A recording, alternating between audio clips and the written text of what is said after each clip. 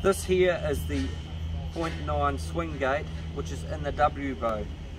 The idea of this is a diverter gate, that's so you can divert the flow from this lane through to this lane by simply lifting this latch, bringing that over and sliding it down onto the other latch so that you can divert stuff through the drafting race.